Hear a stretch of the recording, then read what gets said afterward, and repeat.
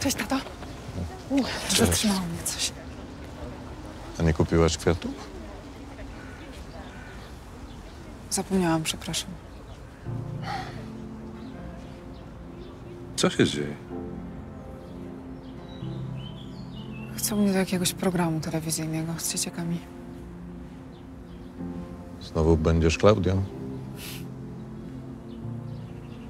Nie, tym razem chcą Monikę.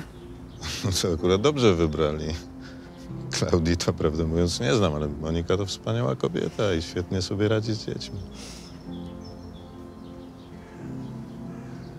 No co jest?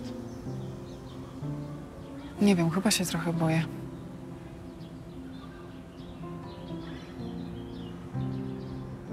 Ty myślisz, że powinnam się zgodzić? No pewnie. Zgodzisz się. Na pewno się zgodzisz. Jesteś taka jak mama, ona zawsze rwała się do robienia nowych rzeczy. Nawet kiedy się bała. Nie nadążałem za nią.